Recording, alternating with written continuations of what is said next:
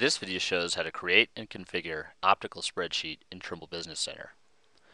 The purpose of the optical spreadsheet is to display all of the total station observations in a flat format that can be copied and pasted into Microsoft Excel. In the project I have open, there's a closed loop traverse. Each leg consists of many mean turned angles. To view all of the total station observations, I can create an optical spreadsheet by going to the toolbar or to the view menu. This is the default configuration for the optical spreadsheet.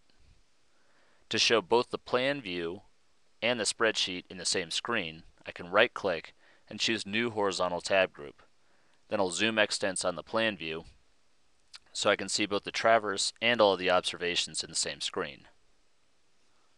To configure the spreadsheet, I can move columns by dragging and dropping them, and I can add and remove columns by going to Project Settings, View, Optical Spreadsheet, and choosing what to show and hide.